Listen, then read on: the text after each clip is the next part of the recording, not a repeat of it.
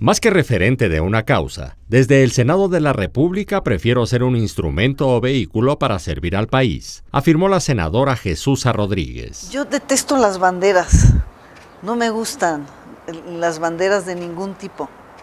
La verdad que yo lo que quiero es ponerme como un instrumento, como un vehículo para servir a que este país pueda disminuir el dolor, poder ayudar a todas esas familias que fueron humilladas y agraviadas por estos gobiernos, por este régimen corrupto y asesino, ponerme como un vehículo, quizás porque mi profesión ha sido así. En entrevista con Notimex, la también actriz y directora de teatro aseguró que no es momento de pensar en obstáculos para que México vuelva a hacer lo que nuestros abuelos plantearon este país tiene que trascender, porque es un país que nos lo dejaron los abuelos, los antiguos abuelos nos lo dejaron ya trascendido. Entonces, ¿por qué nos degradamos? ¿Por qué llegamos a...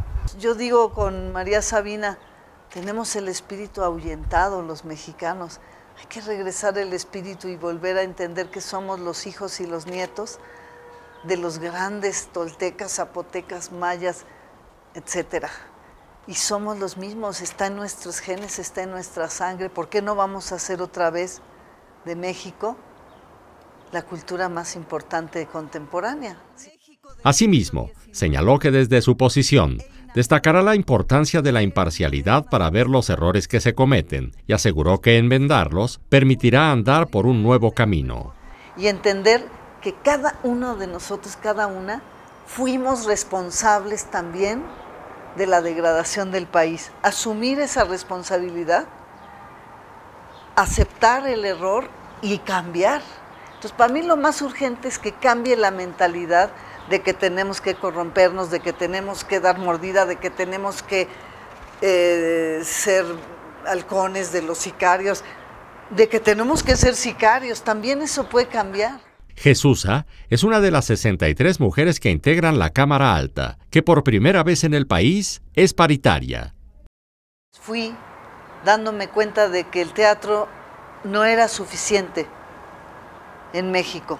A lo mejor en Dinamarca o en Suecia dedicarte al teatro es suficiente, pero aquí no. Siento yo que pasa lo mismo con esto, ¿no? Es decir, te demanda ser senadora hay que hacerlo, porque el país necesita todo, lo que sea. Y si me piden que me vaya a la punta del Popocatépetl porque ahí hace falta que esté, pues me tendría que ir allá, porque yo creo que en este momento tenemos que hacer lo que el país nos pide. Dedicarle seis años al país es lo menos que una puede hacer en su vida.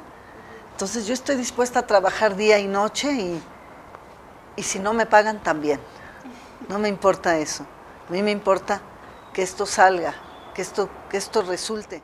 Con información de Nelly Segura e imágenes de Eric Gómez, Notimex.